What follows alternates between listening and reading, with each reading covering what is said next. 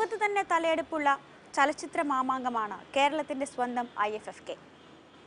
ലോക സിനിമയുടെ പ്രവണതകൾ അടുത്തറിയുമ്പോഴും നമ്മുടെ ചലച്ചിത്ര ഭാവുകത്വത്തെ മാറ്റിപ്പണിയാൻ അതിന് എത്രമാത്രം കഴിയുന്നുണ്ട്. വർഷാവർഷം കൂടി വരുന്ന ആസ്വാദക വൃന്ദവും അതിനൊത്തുയരാത്ത സംഘാടനവും എങ്ങനെ കുറ്റമറ്റതാക്കാം? മേളിക്കൽ കഴിയുമ്പോൾ ബാക്കിയാവുന്നതെന്ത്? സ്ത്രീ ഡയമെൻഷൻ ഇന്ന് ഇക്കാര്യമാണ് പരിശോധിക്കുന്നത്. ചർച്ചയിൽ എനിക്കൊപ്പം ശ്രീമതി ജൂലിയറ്റ് സമാന്തര ചലച്ചിത്ര പ്രവർത്തക അധ്യാപിക. കുമാരി അരുന്ധതി വിദ്യാർത്ഥിനി സ്റ്റുഡന്റ് ആക്ടിവിസ്റ്റ്. ശ്രീമതി ബിന്ദു ഗോപിനാഥ് മാധ്യമപ്രവർത്തക സംവിധായിക. ശ്രീമതി സുലോചന രാംമോഹൻ ചലച്ചിത്ര നിരൂപക എഴുത്തുകാരി. ഞാൻ ആദ്യം അരുന്ധതിയിൽ നിന്ന് തുടങ്ങുന്നു. ഫിലിം ഫെസ്റ്റിവൽ ഒരു വിദ്യാർത്ഥി എന്ന നിലയ്ക്ക് അരുന്ധതിക്ക് നൽകുന്നത് എന്താണ്? സത്യത്തിൽ ആദ്യം തുടങ്ങേണ്ടത് ഇത് നൽകുന്ന ഒരു ഇടം എന്നുള്ള കൺസെപ്റ്റിൽ നിന്നാണ്. കാരണം മൂന്ന് വർഷം ഇവിടെ ഡിഗ്രി കാലത്ത് തിരുവനന്തപുരത്ത് തന്നെ നിന്ന് പഠിച്ചിട്ടുള്ള ആളാണ് ഞാൻ. പക്ഷേ ഫിലിം ഫെസ്റ്റിവലിന് മുൻപും ഫിലിം ഫെസ്റ്റിവലിന് ശേഷവുമുള്ളൊരു ജീവിതം. ആ സമയത്ത് നമുക്ക് വൈകുന്നേരങ്ങളിൽ സ്വതന്ത്രമായി പുറത്തിറങ്ങി നടക്കുമ്പോഴോ ഇല്ലെങ്കിൽ ആൺകുട്ടികളായ കൂട്ടുകാരന്മാർക്കൊപ്പം നടക്കുമ്പോഴോ പലതരത്തിലുള്ള ചോദ്യം ചെയ്യലുകളും നോട്ടങ്ങളും നേരിടേണ്ടി വരാറുണ്ട്. ഈ മേള നടക്കുന്ന എട്ട് ദിവസമാണ് ഏറ്റവും സ്വാതന്ത്ര്യത്തോടെ ഒരു പെൺകുട്ടി എന്നുള്ള തരത്തിൽ ഞാൻ ബോധവതി ആകേണ്ടതുണ്ട് എന്ന യാതൊരു ചിന്തയും ഇല്ലാതെ ഞാനൊരു വ്യക്തിയാണ് എല്ലാ സ്വാതന്ത്ര്യവുമുള്ള വ്യക്തിയാണ്. ഞാൻ ജീവിതം ആസ്വദിക്കുകയാണ് ആഘോഷിക്കുകയാണ്. നിന്ന് ശരിക്കും അനുഭവിക്കുന്ന ഒരു സമയം ഫിലിം ഫെസ്റ്റിവലാണ് സത്യത്തിൽ ഒരു വിദ്യാർത്ഥിനി എന്ന് പറയുമ്പോൾ എനിക്ക് ആദ്യം അതാണ് തോന്നുന്നത് രണ്ടാമത് ഒരു പൊളിറ്റിക്കൽ സയൻസ് സ്റ്റുഡന്റ് എന്നുള്ള രീതിയിൽ ഒരു ഒരുപാട് തരത്തിലുള്ള കാരണം നമ്മൾ വ്യത്യസ്ത രാജ്യങ്ങളുടെ വ്യത്യസ്ത രാഷ്ട്രീയ ഭൂമികയിലൂടെയുള്ള ഒരു യാത്രയാണിത്. നിങ്ങളൊരു ഏഴ് പുസ്തകം വായിക്കുന്നതിന് തുല്യമാണ് ഒരു പക്ഷേ ഒരു സിനിമ കാണുന്നത്. അപ്പോൾ അങ്ങനെ എന്തൊക്കെയാണ് സത്യത്തിൽ ലോക സമൂഹത്തിൽ നടന്നുകൊണ്ടിരിക്കുന്നത് എന്നുള്ളതിന്റെ നേർക്കാഴ്ചയാണ് ഓരോ ചിത്രവും. ഒരു ഒരുപാട് അറിയാനും പഠിക്കാനുമുള്ള അവസരം ഐ എഫ് എഫ് കെ മുന്നോട്ട് വയ്ക്കുന്നുണ്ട്. സംവിധായിക നിലയ്ക്ക് ചലച്ചിത്ര മേളകൾ ബിന്ദുവിന് നൽകുന്നൊരു കോൺഫിഡൻസ് ഏത് തരത്തിലുള്ളതാണ്? മേളകൾ നൽകുന്ന കോൺഫിഡൻസ് വളരെ വലുതാണ്. ഞാനൊക്കെ ഈവൻ മാധ്യമ മാധ്യമ പ്രവർത്തകയായിരിക്കുന്നത് ആയതുപോലും ഈ ഈ ചലച്ചിത്രമേളയിൽ നിന്നാണെന്നുള്ളതാണ് അതിന്റെ പരമസത്യം. കാരണം മീഡിയ സെന്ററിൽ രണ്ടായിരത്തി രണ്ടിലോ മറ്റോ ആണെന്ന് തോന്നുന്നു. മീഡിയ സെന്ററിൽ വർക്ക് ചെയ്തിട്ട് അവിടെ നിന്നാണ് സിനിമയെ പറ്റിയും ഒക്കെ ഉള്ളൊരു സിനിമ മാത്രമല്ല എഴുത്ത് വായന ഇതിന്റെ എല്ലാത്തിന്റെയും ലോകത്തേക്കുള്ളൊരു വാതിൽ തുറക്കലായിരുന്നു എനിക്ക്. അപ്പോൾ അന്നൊക്കെ ഒരു സംവിധായികയാകുക എന്ന് പറയുന്നത് എന്നെ സംബന്ധിച്ച് ഉള്ളിന്റെ ഉള്ളിൽ ആരോടും പറയാതെ കൊണ്ട് നടന്നിരുന്നൊരു സ്വപ്നമായിരുന്നു. മേള എന്ന് പറയുന്നത് എന്നെ സംബന്ധിച്ച് ഓണവും വിഷു ക്രിസ്മസും ഒന്നുമല്ല. നമ്മുടെ ആഘോഷം എന്ന് പറയുന്നത് ചലച്ചിത്രമേളയാണ് എന്നെ സംബന്ധിച്ച്. ഈ ആഘോഷം നമ്മുടെ സിനിമയ്ക്ക് എത്രത്തോളം ഗുണം ചെയ്യുന്നുണ്ട്? നമ്മുടെ സിനിമയുടെ മുന്നോട്ടുള്ള പോക്കിന് ഈ ആഘോഷം സഹായിക്കുന്നുണ്ടോ? ഇപ്പോൾ ഇവർ രണ്ടും പറഞ്ഞത് വെച്ച് നോക്കുമ്പോൾ എനിക്ക് തോന്നുന്ന ഒരു തലമുറകളുടെ വിടവ് അനുഭവപ്പെടുന്നുണ്ട്. തലമുറകളുടെ വിടവ് ഇല്ല എന്ന് പറഞ്ഞ് നടക്കാൻ ആഗ്രഹിക്കുന്ന ഒരു എഴുത്തുകാരിയാണ് സത്യത്തിൽ ഞാൻ. പക്ഷേ ഈ ഇങ്ങനെ കേൾക്കുമ്പോൾ ഏറ്റവും സ്വതന്ത്രമായ ഒരു ഇടം ഐ എഫ് എഫ് കെ മുന്നോട്ട് വെക്കുന്നു എന്ന് എനിക്ക് തോന്നുന്നില്ല. നല്ല ആരോഗ്യവും ചെറുപ്പവും യൗവനവും കായിക ബലവും ഒക്കെ ഉള്ളവർക്ക് പോയി മത്സരിച്ച് അകത്ത് കയറേണ്ട ഒരു സ്ഥിതിയാണ് കഴിഞ്ഞ കുറേ വർഷങ്ങളായി എനിക്ക് അനുഭവപ്പെടാറുള്ളത്. ഈ പറഞ്ഞതുപോലെ എഴുത്തിനും സിനിമയെ പറ്റി പഠിക്കുന്നതിനും വിമർശിക്കുന്നതിനും നമ്മുടെ തന്നെ സിനിമ കണ്ട് ആസ്വദിക്കുന്നതിനും ഇപ്പോൾ ഫിലിം മേക്കിങ്ങിലേക്ക് തിരിയുന്നതിനും ഒക്കെ തന്നെ നമുക്ക് ആഗോളതലത്തിലുള്ള ആഗോള തലത്തിലുള്ള സിനിമ എന്തെന്ന് അറിഞ്ഞു തന്നെ പറ്റുള്ളൂ.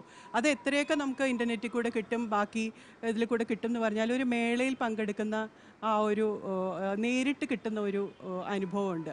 ഫിലിം മേക്കേഴ്സിനെ നേരിട്ട് കാണുക ചർച്ചകളിൽ പങ്കെടുക്കുക നമ്മുടെ ഒരു അഭിപ്രായം പറയാൻ ഈ പറഞ്ഞ പോലെ ഒരു സ്പേസ് ഉണ്ടാവുക ഇതൊക്കെ വളരെ പ്രധാനമാണ്. കേരളത്തിന് വളരെ അടഞ്ഞൊരു സാമൂഹ്യ അന്തരീക്ഷമാണ്. അടഞ്ഞൊരു മോറൽ സൊസൈറ്റിയാണ് കേരളത്തിലുള്ള ആ അത്തരം ഒരു അന്തരീക്ഷത്തിൽ ഈ ഒരു ബാഡ്ജ് ഉണ്ടെങ്കിൽ നമുക്ക് രാത്രി പതിനൊന്ന് മണിക്ക് ഏത് ഓട്ടോറിക്ഷയിലും കയറി വീട്ടിലേക്ക് പോകാൻ പറ്റും എന്നുള്ളതാണ്. ഏത് സുഹൃത്തിനോട് ഏത് ആൺ സുഹൃത്തിനോടും ചേർന്ന് നിന്ന് സിനിമ കാണാനും സൗഹൃദം പങ്കുവെക്കാനും കാണും. ജനകീയത തന്നെയാണ് ഇതിന്റെ ഏറ്റവും വലിയ ഊർജം എന്നാണ് എനിക്ക് പറയാനുള്ളത്. നമ്മൾ ഈ ജനകീയത എന്ന് പറയുന്ന ഊർജത്തിന്റെ മറ്റൊരു മുഖം എടുത്താൽ ഇപ്പം സിനിമ സീരിയസ് ആയി കാണുന്ന ആളുകൾക്ക് ഇപ്പോൾ ഇതൊരു ഉത്സവമാണ്. ഒരു ഉത്സവം നല്ലതുമാണ്. ഉത്സവത്തിൽ പരമാവധി ആളുകൾ എത്തുന്നത് തന്നെയാണ് ഉത്സവത്തിന്റെ വിജയവും. പക്ഷെ സിനിമയെ സീരിയസ് ആയി കാണുന്ന അല്ലെങ്കിൽ മനസ്സിലെ സിനിമാ സങ്കല്പങ്ങൾ പൊളിച്ചെഴുതാൻ തയ്യാറുള്ള എന്തു ഗുണമാണ് ഇത് വരുന്ന ഇത് കാണുന്ന ഒരാൾക്ക് എത്താൻ കിട്ടുന്നത് ജൂലിയറ്റ്?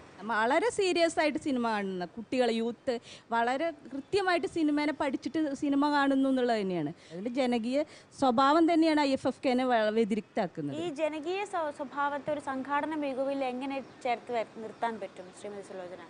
അത് തീർച്ചയായിട്ടും സംഘാടകർ ഇപ്പോൾ ഫെസ്റ്റിവൽ കോംപ്ലക്സ് ഉണ്ടാക്കുന്ന കുറേ വർഷങ്ങളായി പറയുന്നു.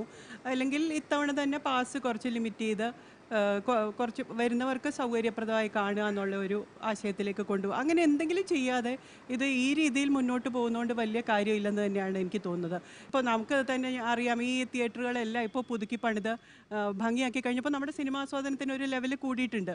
ഈ ഫെസ്റ്റിവലിന് വരാത്തവർക്ക് വേണ്ടിയുള്ളതായിരുന്നു ഈ തിയേറ്ററൊക്കെ.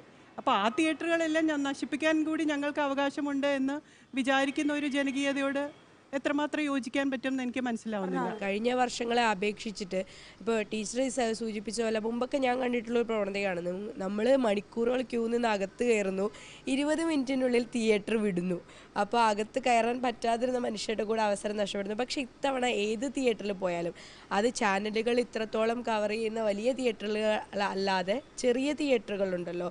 ആ, ഒരു പക്ഷേ മാസ്റ്റേഴ്സിന്റെ സിനിമകളോ അല്ലെങ്കിൽ അറബ് ലോകത്തെയോ ചൈനയിൽ നിന്നൊക്കെയുള്ള സിനിമകൾ അവയൊക്കെയും കാണാൻ നിറഞ്ഞ ആൾക്കൂട്ടമാണുള്ളത്. അപ്പോൾ കാണികളെ ചുരുക്കുകയാണോ ചെയ്യേണ്ടത്? അതോ നിലവിലുള്ള സാമ്പത്തികമായിട്ടുള്ള ഐ എഫ് എഫ് കെക്ക് വേണ്ടി മാറ്റിവെച്ചിരിക്കുന്ന ഫണ്ടിനെ ഉയർത്തിക്കൊണ്ട് കൂടുതൽ തിയേറ്ററുകൾ പ്രത്യേകിച്ച് തിരുവനന്തപുരത്ത് ഉണ്ട് ഇല്ലാഞ്ഞിട്ടല്ല. നമ്മൾ ഇത്തവണ അഞ്ജലി ആതിര തുടങ്ങിയ മൾട്ടിപ്ലക്സുകൾ ഒഴിവാക്കി ശ്രീപത്മനാഭയെ ഒഴിവാക്കി അജന്തി ഒഴിവാക്കി ഈ തിയേറ്ററുകളുടെ എണ്ണം കൂടിക്കഴിഞ്ഞാൽ ഈ ഇടി ഉണ്ടാവില്ല. ഇതൊരു പോയിന്റ് അല്ലേ ബിന്ദു? അപ്പം അറിവ് ഒരു ഒരു ഗുണം തന്നെയാണ് നിഷേധിക്കാൻ കഴിയില്ല. പക്ഷെ അറിവില്ലാത്ത ഒരാൾക്കും ദൃശ്യം നൽകുന്ന അനുഭവം ഒഴിവാക്കേണ്ട കാര്യമില്ല. അയാളുടെ ലോക സിനിമ അയാൾ ചിലപ്പോൾ ഒരുപക്ഷെ ആദ്യമായി കിട്ടുന്ന ലോക സിനിമയെ പരിചയപ്പെടാനുള്ള അവസരമായി ഇതുവരെ കണ്ടിട്ടില്ലാത്തതുകൊണ്ട് അത് നിഷേധിക്കപ്പെടേണ്ട ഒന്നല്ല. അത് എപ്പോഴാണെങ്കിലും ആദ്യം കിട്ടേണ്ട ഒന്ന് തന്നെയാണ് അങ്ങനെ വരുമ്പോൾ പോലും ഇപ്പുറത്ത് ചെയ്യേണ്ട ഇത്തരം ചെറിയ കാര്യങ്ങൾ സാമാന്യ ബുദ്ധിക്ക് നിരക്കുന്ന ചില കാര്യങ്ങൾ. കിം കിടുക്കിനെ പോലുള്ള ആളുകളുടെ അല്ലെങ്കിൽ മക്മൽ ബഫിനെ മാതിരി കേരളത്തിൽ വ്യക്തമായ ആരാധക പിന്തുണയുള്ള ഫാൻസ് അസോസിയേഷൻ ഇല്ലാന്ന് മാത്രമേ ഉള്ളൂ. അങ്ങനത്തെ സംവിധാനയുടെ സിനിമകൾ കൂടുതൽ സീറ്റുകളുള്ള തിയേറ്ററിൽ പ്രദർശിപ്പിക്കുക. അതിന്റെ പ്രദർശനത്തിന്റെ എണ്ണം കൂട്ടുക. ഇത്ര സാമാന്യ യുക്തി ഇത്തവണ നഷ്ടമായിരുന്നു? ഈ ഫിലിം ഫെസ്റ്റിവലുകളുടെ പ്രസക്തി കൂടി വരുന്നു എന്നുള്ളത് ആണ് ഈ കൂടി വരുന്ന കാഴ്ചക്കാർ കാണിക്കുന്നത്. അപ്പോൾ ആൾക്കാർക്ക് കാഴ്ച നിഷേധിക്കുകയല്ല വേണ്ടത്. അതേസമയം നമുക്ക് നിലവിലുള്ള സൗകര്യങ്ങൾ മാത്രമേ ഈ തിരുവനന്തപുരത്ത് എന്തെല്ലാം ലഭ്യമാകും അത് മാത്രമേ കൊടുക്കാനും കഴിയൂ. നേരത്തെ ടീച്ചർ പറഞ്ഞ പോലെ ആരോഗ്യം കുറയുന്നതിനനുസരിച്ച് ഇതിൽ നിന്ന് മാറി നിൽക്കേണ്ട ഒരു ബസ് അത് പാടില്ല. എനിക്ക് തോന്നുന്നു ഈ മേള അതൊരു പ്രശ്നമാണ്. ചെറുപ്പക്കാർക്ക് പുതിയ സിനിമ പഠിക്കണം എന്നുള്ള പറഞ്ഞ സിനിമ കണ്ട് ആസ്വദിച്ച് അതൊരു ശീലമാക്കിയവർക്ക് യുദ്ധം ചെയ്യാനുള്ള കഴിവില്ലാത്തതുകൊണ്ട് സിനിമാ തിയേറ്ററിൽ നിന്ന് പുറത്തേക്കാനും പറ്റില്ല. മാത്രമല്ല ഇതിപ്പോൾ അറിവിന്റെ അധികാരമാണ് ഇവിടെ ഉപയോഗിച്ചത് ഇത്തവണ എന്ന് പറയുന്നു. ഈ ജനാധിപത്യത്തിന് എപ്പോഴും ഉള്ള ഒരു കുഴപ്പം ആ, മുകളിൽ നിന്ന് താഴെ വരെ ഉള്ളവർ അവരുടെ അധികാരം പല രീതിയിൽ ഉപയോഗിക്കുന്നു എന്നുള്ളതാണ്. അപ്പോൾ ഈ ജനകീയം എന്ന് പറയുന്നിടത്ത് ഇപ്പോൾ സർവൈവൽ ഓഫ് ദ ഫിറ്റസ്റ്റ് ആണ് ഏറ്റവും വലിയ ജനകീയ ജനാധിപത്യം എന്ന് പറയുന്നത് പോലെയാണത്. ജനാധിപത്യമാണ് അല്ലെങ്കിൽ ജനകീയമാണ് നമ്മുടെ കാര്യങ്ങൾ എന്നുണ്ടെങ്കിൽ അതിലൊരു പ്രതിപക്ഷ ബഹുമാനം ഏത് പൗരനും അതിൽ പങ്കെടുക്കുന്ന ഈ പറഞ്ഞ സെക്യൂരിറ്റി തൊട്ട് അതിൽ വരുന്ന പ്രേക്ഷകൻ തൊട്ട് എല്ലാവർക്കും ആ ഒരു മര്യാദ ഉണ്ടെങ്കിൽ ഒരു കുഴപ്പമില്ല തിരിച്ചെത്താം ശ്രീ ഡയമെൻഷനിൽ ചെറിയ ഇടവേളയ്ക്ക് ശേഷം. എനിക്കിപ്പോൾ കുടുംബമായി സിനിമ കാണാൻ പോകണമെങ്കിൽ എന്റെ താല്പര്യത്തിനുള്ളത് ചിലപ്പോൾ ഞാൻ മാത്രമായിരിക്കും വീട്ടിൽ. മേളയിൽ വരുന്നതൊക്കെ അറിവുള്ളവർ ബുദ്ധിജീവികൾ സാധാരണക്കാരിലെ ബുദ്ധിജീവികൾ എന്ന് പറയാം. അവർ നല്ല സിനിമ ആസ്വദിക്കുന്നു.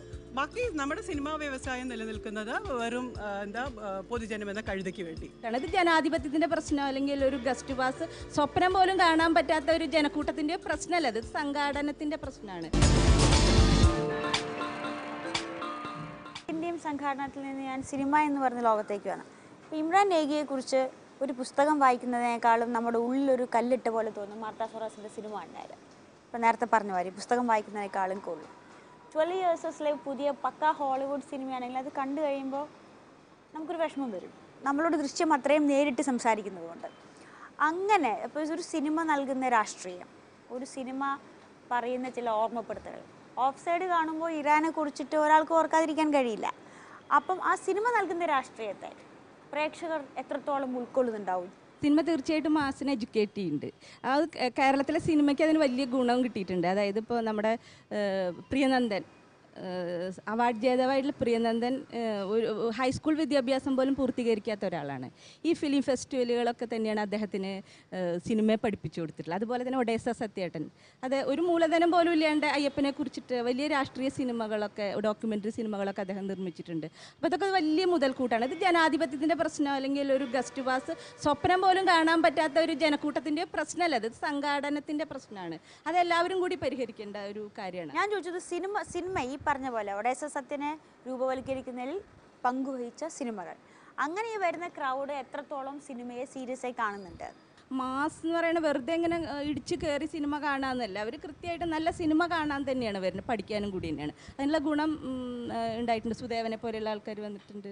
അങ്ങനെ ഒട്ടേറെ ആളുകൾ സാധാരണക്കാരായ മനുഷ്യർ അക്കാദമിക് പണ്ഡിതന്മാരല്ലാത്തവർ വന്നിട്ടുണ്ട്. ജ്ഞാനികളല്ലാത്ത സാധാരണക്കാരായ മനുഷ്യർ സിനിമയിലേക്ക് വന്നിട്ടുണ്ട്. അത് ഇത്തരത്തിലുള്ള ഫെസ്റ്റിവലുകളുടെ ഫിലിം സൊസൈറ്റികളുടെ ഒക്കെ പ്രവർത്തനം തന്നെയാണ്. അതിന്റെ രാഷ്ട്രീയം തന്നെയാണെന്ന് തന്നെ എനിക്ക് ജൂലിയറ്റ് പറഞ്ഞ പല സംവിധായകരും മേളയുടെ പ്രോഡക്റ്റ്സ് ആയിട്ട് അല്ലെങ്കിൽ മേള കൊണ്ട് സ്വാധീനം ചെലുത്തി വരുന്നു. അവരുടെ സിനിമ കാണാൻ ഇവിടെ ജൂലിയറ്റ് പറയണ്ടായി ഫുൾ തിയേറ്റർ ആയിരുന്നു മലയാളം സിനിമകൾക്ക് വരെയെന്ന്.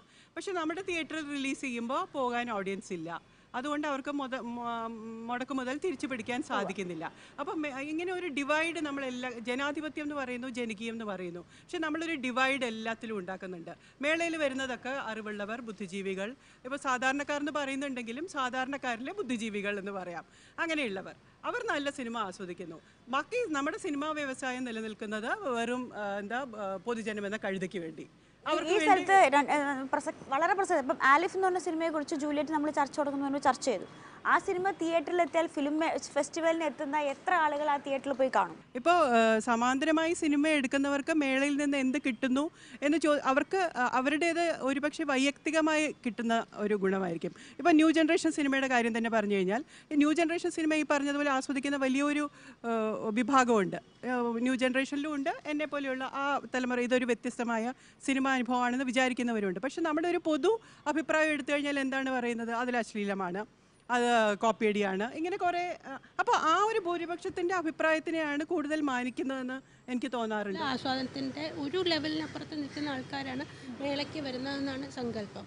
അപ്പോൾ ഇതേ അങ്ങനെ ഒരു ആൾ ക്രൗഡല്ല തിയേറ്ററിൽ വരുന്ന സിനിമ കാണാൻ പോകുന്നത് എല്ലാ വിഭാഗത്തിലും പെട്ട ആൾക്കാർ ആണ് പോകുന്നത്. അവർ ഈ പറഞ്ഞ പോലെ എൻജോയ്മെന്റിന് വേണ്ടി കുട്ടികളെയും കൊണ്ട് ഒന്ന് ഒരു ലെഷറിന്റെ ഭാഗമായിട്ടാണ് സിനിമയ്ക്ക് പോകുന്നത്. അതുകൊണ്ടായിരിക്കാം ചിലപ്പം ഇത്തരം സിനിമകൾ തന്നെ തിയേറ്ററിൽ വന്ന വേണ്ടത്ര ആളില്ലാതെ പോകുന്നതെന്ന് എനിക്ക് തോന്നുന്നു. രണ്ടുപേരുടെയും പോയിന്റ് ചേർത്തുകൊണ്ട് പറയണം. ഒന്ന് പലയിടങ്ങളിൽ നിന്നുള്ള ആളുകളുടെ ഒരു കൂട്ടമാണിത്. പക്ഷെ തിയേറ്ററുകൾ എന്ന് പറയുന്നത് അങ്ങനെയല്ല.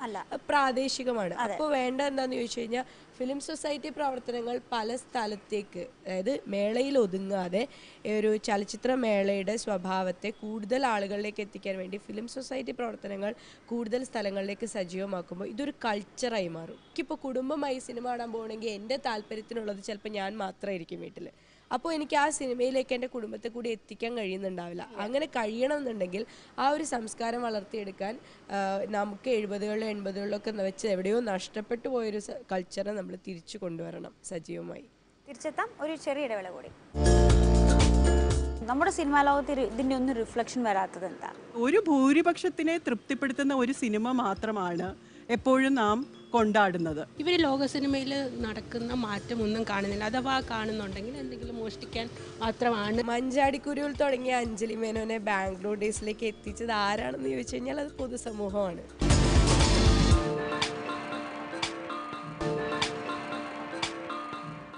ഡയമെൻഷൻ തുടരുകയാണ്.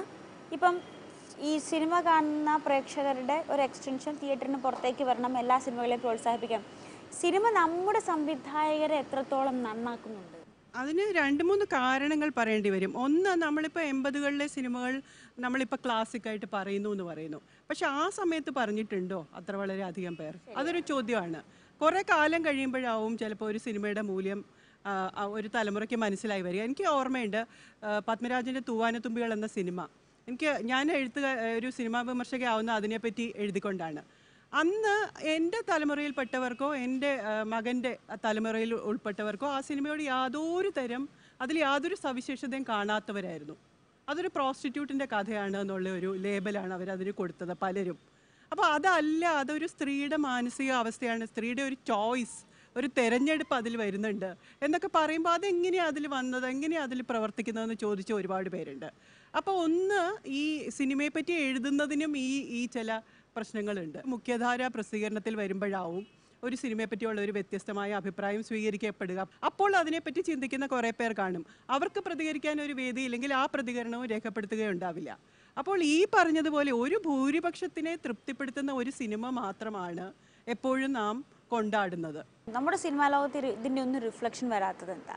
എനിക്ക് എനിക്കുണ്ടെന്നാണ് തോന്നിയിട്ടില്ല കാരണം എന്താ വെച്ചാൽ ഇപ്പം ഈ നായി നായക പ്രാധാന്യമുള്ള സിനിമകളായിരുന്നു തൊണ്ണൂറുകളിലൊക്കെ. സ്ത്രീകൾക്ക് സിനിമാ തിയേറ്ററിൽ പോകാൻ പോലും പറ്റാത്ത തല ഡയലോഗ് കേട്ടാൽ തല താഴ്ത്തിയിരിക്കേണ്ട സ്ത്രീ വിരുദ്ധമായിട്ടുള്ള ഡയലോഗുകൾ ഒരു മസാല ചേരുവയ്ക്ക് വേണ്ടിയിട്ടുള്ള ഒരു സെക്ഷൽ ഓബ്ജക്റ്റ് മാത്രമായിട്ട് മാറുന്ന നായികമാർ അത്ര ഒരു അവസ്ഥയിൽ നിന്ന് ന്യൂ ജനറേഷൻ സിനിമയിലേക്ക് വരുമ്പോൾ അതിന് വലിയ മാറ്റം ഉണ്ടായിട്ടുണ്ട് എന്നുള്ളത് തന്നെയാണ്. കേരളത്തിന്റെ ഒരു അടഞ്ഞ സൊസൈറ്റിയാണ്. അതിൽ നിന്ന് ഇത്രയും ആളുകൾ ഒരു സഹജീവി സ്നേഹമുള്ള ആളുകൾ സ്ത്രീകളോട് കുട്ടികളോടൊക്കെ സ്നേഹമുള്ള ആളുകളായിട്ട് രൂപാന്തരപ്പെടുക എന്നുള്ളത് തന്നെ വലിയൊരു കാര്യമാണ്. ഈ ഫിലിം ഫെസ്റ്റിവൽ ചലച്ചിത്ര ലോകത്ത് റിഫ്ലക്ട് ചെയ്യുന്നത് കുറയുന്നത് എന്തുകൊണ്ടായിരിക്കും? മലയാളത്തിലെ മെയിൻ സ്ട്രീം സിനിമയിൽ നിൽക്കുന്ന എത്ര ആൾക്കാർ ഐ എഫ് എഫ് കെയിൽ പാർട്ടിസിപ്പേറ്റ് ചെയ്യുന്നുണ്ട് സിനിമ കാണാൻ വരുന്നുണ്ട് എന്നുള്ളത് ഒരു വലിയ ക്വസ്റ്റ്യൻ മാർക്കാണ് അവരവരുടെ സിനിമകൾ കാണാനല്ലാതെ ഇവിടെ ഒരു സിനിമക്കാരെയും നമ്മൾ കാണാറില്ല. ഒക്കെ ഇപ്പോഴും ദന്തഗോപുരവാസികളായിട്ട് ഇവരിങ്ങനെ ഏതോ കണ്ണാടിക്കൂട്ടിനകത്ത് ഇരിക്കുകയാണ്. ഇവർ ലോക സിനിമയിൽ നടക്കുന്ന മാറ്റമൊന്നും കാണുന്നില്ല. അഥവാ കാണുന്നുണ്ടെങ്കിൽ എന്തെങ്കിലും മോഷ്ടിക്കാൻ മാത്രമാണ് എന്നാണ് തോന്നുന്നത്. അപ്പോൾ ഈ ഒട്ടും അപ്ഡേറ്റഡ് അല്ല. തുറന്ന അതിനോടുള്ള തുറന്ന ഒരു സമീപനം ഇല്ല. അതിന്റെ കൂടെ പ്രതിഭാ ദാരിദ്ര്യം കൂടെ വരുമ്പോൾ ഓൾ എന്തൊക്കെ കാണാൻ പറ്റും അതാണ് നമ്മളിപ്പോൾ മലയാള സിനിമയിൽ കണ്ടുകൊണ്ടിരിക്കുന്നത് അരുന്ധതിക്ക് എന്ത് തോന്നുന്നു? ഇപ്പോൾ ഗോലി സോഡ. അങ്ങനത്തെ ഒരു സിനിമ മലയാളത്തിൽ നമുക്ക് ആലോചിക്കാൻ പറ്റില്ല. പസങ്ക. കണ്ടിരിക്കാൻ ഗംഭീര സിനിമകളല്ലേ? ഇത്തരം പുതുമകൾ ഈ മേള കൊണ്ടാടുന്ന നമ്മുടെ നാട്ടിലുണ്ടാകുന്ന സിനിമയ്ക്ക് എന്തേ വരാത്തു? ഇപ്പോഴും ഒരു ചട്ടക്കൂട് കൃത്യമായിട്ട് മലയാള സിനിമയ്ക്കകത്ത് വർക്ക് ചെയ്യുന്നുണ്ട്. അത് എവിടെ തുടങ്ങിയ ഹൗ ഓൾഡ് അറിവിൽ വരെ അവസാനിപ്പിച്ചാലും അത് അങ്ങനെ തന്നെയുണ്ട്. പിന്നെ രണ്ടെന്ന് പറയുന്നത് ഇപ്പോൾ മഞ്ചാടിക്കുരുവിൽ തുടങ്ങിയ അഞ്ജലി മേനോനെ ബാംഗ്ലൂർ ഡേയ്സിലേക്ക് എത്തിച്ചത് ആരാണെന്ന് ചോദിച്ചു കഴിഞ്ഞാൽ അത് പൊതുസമൂഹമാണ്. എപ്പോഴും സാമ്പത്തികമായിട്ടുള്ളൊരു വിജയം നേടുന്ന ചലച്ചിത്രങ്ങളുടെ സംവിധായകർക്കാവും കൂടുതൽ നിർമ്മാതാക്കൾ എത്തുക. അപ്പോൾ എനിക്ക് കൂടുതൽ സിനിമകൾ ചെയ്യണം എന്നുള്ളതാണ് എന്റെ ആഗ്രഹമെങ്കിൽ വിപണിയുടെ താല്പര്യങ്ങൾക്ക് വേണ്ടി പല വിട്ടുവീഴ്ചകളും ചെയ്യേണ്ടി വരും. അങ്ങനെ പ്രതിഭയുണ്ടായിട്ട് പോലും അത് പ്രകടിപ്പിക്കാൻ അവർക്ക് മുൻപിൽ ഒരു തടസ്സമായി വരുന്നത് ഒരുപക്ഷെ വിപണിയാണ്. നല്ല സിനിമ എന്ന് വെച്ചാൽ സകുടുംബം പോകാവുന്ന ഒരു സിനിമ. അതിനെയാണ് എപ്പോഴും അഡ്രസ്സ് ചെയ്യുന്നത്. അപ്പോൾ അങ്ങനെയല്ല ഇപ്പം ന്യൂ ജനറേഷൻ സിനിമകൾ തന്നെ അങ്ങനെയല്ലാത്ത പല ഘടകങ്ങളും അവർ ഉപയോഗിക്കുന്നുണ്ട്. ഈ ഒരു ഹിപ്പോക്രസിയും ഒരു പുരുഷന്മാരുടെ ആറ്റിറ്റ്യൂഡൊക്കെ ഞാൻ ഈ അടുത്ത് ശരിക്കും കണ്ടത് ബാച്ചലർ പാർട്ടി എന്ന് പറയുന്ന സിനിമ ഇറങ്ങിയപ്പോഴാണ്. ആ ചിത്രത്തിന്റെ എല്ലാ ഷോയ്ക്കും ഇടിച്ചു കയറി കാണുവാൻ ഇഷ്ടം പോലെ ആൺകുട്ടികളുണ്ടായിരുന്നു. പക്ഷെ പുറത്തിറങ്ങിയ അഭിപ്രായം പറഞ്ഞത് എടാ എന്തായാലും പെങ്ങളെയും കൂട്ടുകാരികളെയും ഈവൻ ഗേൾ ഫ്രണ്ടിനെ പോലും പറഞ്ഞു വിടരുത് കാണാൻ പറ്റില്ല എന്നാണ്. അപ്പോൾ അവർ ജഡ്ജ് ചെയ്യാണ് ഒരു ഒരു പെൺകുട്ടിയോ അല്ലെങ്കിൽ ഒരു അമ്മയോ ഭാര്യയോ ഇതാണ് കാണേണ്ടത് ഇതേ കാണാൻ പാടൂ. കാരണം കുടുംബത്തിൽ പിറന്നവർക്ക് കാണാനുള്ളത് ഇതാണ് എന്നുള്ളതാണ്. ഇതിനകത്തുനിന്ന് പുറത്തു വരാതെ ഇത്തരം ചിത്രങ്ങൾ ഉണ്ടാവില്ല. നമ്മൾ ചർച്ച നിർത്തുന്നതിലേക്ക് പോകുമ്പോൾ ഓരോരുത്തരും ചുരുങ്ങിയ വാക്കുകൾ ഐ എഫ് എഫ് കെ എങ്ങനെ കുറച്ചുകൂടി ഗുണകരമാക്കാം? ഡെലിഗേറ്റ്സിന് കുറച്ചുകൊണ്ടായിരിക്കരുത്. എല്ലാ വരുന്നവർക്കൊക്കെ പാസ് കൊടുക്കുകയും അവർക്ക് ഇരുന്ന് കാണാനുള്ള സംവിധാനം അത് ഷെഡ്യൂളിലായാലും അത് ചെയ്യണം. പണ്ട് ഓപ്പൺ ഫോറം വളരെ സജീവമായിരുന്നു. ഓപ്പൺ ഫോറത്തിൽ സജീവമായി പങ്കെടുത്തിട്ടുള്ള ഒരാളാണ് ഞാൻ. എനിക്ക് സിനിമാ വിമർശനത്തിന് അത് വലിയ മുതൽക്കൂട്ട് നൽകിയിട്ടുമുണ്ട്. നമുക്കൊരു എന്ന് വെച്ചാൽ ഈ പറഞ്ഞ ഒരു അഭിപ്രായം ഫോം ചെയ്യാനും അത് ഒരു പൊതു ഇടത്ത് പറഞ്ഞ് ഫലിപ്പിക്കാനും നമുക്കൊരു ആത്മവിശ്വാസം വേണം. നേരത്തെ ബിന്ദു പറഞ്ഞ ഫിലിം മേക്കിങ്ങിന് വേണ്ട പോലെ ഒരു ആത്മവിശ്വാസം വേണം. അപ്പോൾ അത് കുറേ പേരുടെ അഭിപ്രായം കേൾക്കുകയും അവരെങ്ങനെയാണ് പ്രതികരിക്കുന്നത് അതിനുള്ള മറുപടി ഫിലിം മേക്കർ എന്താണ് പറയുന്നത് അതൊക്കെ കുറേ പ്രാവശ്യം കണ്ടു കഴിയുമ്പോഴാണ് നമുക്കത് കൃത്യമായിട്ട് അനുഭവം അല്ലെങ്കിൽ നമ്മൾ വീട്ടിലിരുന്ന് ആലോചിച്ച് കഴിഞ്ഞാൽ നമ്മുടെ ഒരു അത്രയും ഒരു ആത്മവിശ്വാസം നമുക്ക് കിട്ടില്ല. നമ്മൾ പറയുന്നത് ശരിയാവാം തെറ്റാവാം. ലോകത്തെവിടെയുമുള്ള ഏറ്റവും പുതിയ സിനിമകൾ നമുക്ക് ലഭ്യമാക്കുക എന്നുള്ളത് തന്നെയാണ് അതിന് ഏറ്റവും വലിയ നമുക്ക് ചെയ്യാവുന്ന ഏറ്റവും വലിയ കാര്യം. ഏത് രാജ്യത്ത് എല്ലാ രാജ്യങ്ങളിലുമുള്ള ഏറ്റവും പുതിയ പുതിയ സിനിമകൾ പുതിയതിനോടൊപ്പം പഴയതും പഴയ മാസ്റ്റേഴ്സിന്റെയൊക്കെ ക്ലാസിക്സ് എല്ലാം കാണാനുള്ള സൗകര്യം ഉണ്ടാക്കണം. അതാണ് വേണ്ടത്. രാത്രികളിൽ ഒരു ഷോ നടക്കുന്ന സ്ഥലമാണ് നിശാഗന്ധി. ഏകദേശം രണ്ടായിരത്തിലധികം ആളുകൾക്ക് ഇരുന്ന് സിനിമ കാണാൻ കിട്ടുന്ന മനോഹരമായൊരു സ്ഥലം കൂടിയാണത്. അവിടെ ഒരു ഷോ കൂടി അവസാനത്തെ ഒരു ഷോ കൂടി നടത്തി കഴിഞ്ഞു കഴിഞ്ഞാൽ അതൊരു വലിയ വിജയമാകും. നമ്മുടെ വാണിജ്യ സിനിമകൾക്ക് ഇത് എങ്ങനെ ഗുണപ്പെടും? എങ്ങനെ ഗുണകരമാക്കാം? മേളയ്ക്ക് അതിൽ പരിമിതി ഉണ്ടെന്നും സർക്കാർ കൂടുതൽ കാര്യമായി ഇടപെട്ടുണ്ട് ഒന്നാമത്തെ കാര്യം കൂടുതൽ തുക. സർക്കാരിന്റെ കീഴിൽ തന്നെ അല്ലേ കെ എസ് എഫ് ഡി സിയുടെ കീഴിൽ തന്നെ കൂടുതൽ ആഗ്രഹമുള്ള സംവിധായകർക്ക് നല്ല ത്രെഡുമായി വരുന്ന എന്നാൽ നിർമ്മാതാവിനെ കിട്ടാതെ വരുന്ന സംവിധായകർക്ക് ആവശ്യമായ സഹായം ചെയ്യുക വിതരണത്തിന്റെ സമയത്ത് അവർക്കുള്ള ടാക്സ് തുടങ്ങിയ ഇഷ്യൂകൾ അവർ അതിലവരെ സഹായിക്കുക ഈ ചിത്രങ്ങൾ നമ്മുടെ ബി സി ടൈപ്പ് തിയേറ്ററുകളുണ്ടല്ലോ നാട്ടിൻപുറങ്ങളിൽ അവിടേക്ക് കൂടുതൽ എത്തിക്കുന്ന തരത്തിൽ സർക്കാരിന്റെ സഹായം ഉണ്ടാവുക ഫിലിം സൊസൈറ്റി പ്രസ്ഥാനങ്ങളെ എല്ലാ ജില്ലകളിലെങ്കിലും ആക്റ്റീവ് ആക്കുക അങ്ങനെയൊക്കെയാണ് ഒരുപക്ഷെ നമുക്ക് വാണിജ്യ സിനിമയ്ക്ക് കൂടി മേളയുടെ ഉപകാരം എത്തിക്കാൻ കഴിയുക. കാഴ്ചയുടെ തലസ്ഥാനമായി കേരളം മാറുന്ന ഒരാഴ്ച കെട്ടുകാഴ്ചകളുടേതു മാത്രമായി ചുരുങ്ങരുത്. സിനിമയെക്കുറിച്ചുള്ള നവസമീപനത്തിന്റെ ചുക്കാൻ പിടിക്കാൻ ഐ എഫ് എഫ് കെക്ക് ഉയരങ്ങൾ താണ്ടേണ്ടതുണ്ട്. മേളക്കൊഴുപ്പ് തീരുമ്പോൾ ഉത്സവം കൊടിയിറങ്ങുമ്പോൾ ബാക്കിയാവുന്നത് ആ വിചാരമാകട്ടെ. കാണാം സ്ത്രീ ഡയമെൻഷനിൽ മറ്റൊരു വിഷയവുമായി വീണ്ടും അടുത്ത ആഴ്ച നമസ്കാരം.